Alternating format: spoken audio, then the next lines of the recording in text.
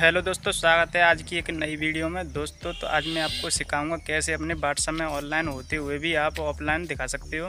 तो दोस्तों, आपको इसे करने तो इसके लिए चलिए चलते हैं अपने फ़ोन की होम स्क्रीन पर। तो दोस्तों, सबसे पहले अपने व्हाट्सअप को ओपन कर लेना है।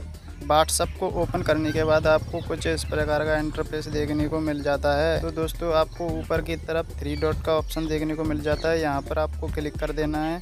यहाँ पर क्लिक करने के बाद आपको नीचे की तरफ़ सेटिंग वाला ऑप्शन देखने को मिल जाता है। उस पर क्लिक कर देना है।